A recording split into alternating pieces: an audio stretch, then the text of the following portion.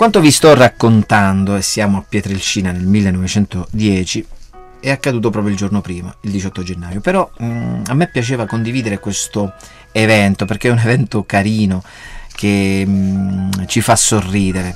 Eh, siamo alle prese con un giovane frate, fra da Pietrelcina, che va ad amministrare il suo primo battesimo, pensate un po' mise tanto sale al neonato che aprendo la boccuccia questi strabuzzava gli occhi e padre Pio tutto impaurito a quel punto disse all'arcipete Don Salvatore ho ucciso il bambino. Il bambino era Ermelindo Masone che diventerà un religioso redentorista. Ma quello che volevo raccontarvi anche oggi è che nel 1912 Padre Pio scrive a Padre Agostino dicendogli che in salute stava benino, ma la vista non vuole ritornarmi. Barba Blu non si vuole dare per vinto, ha preso quasi tutte le forme.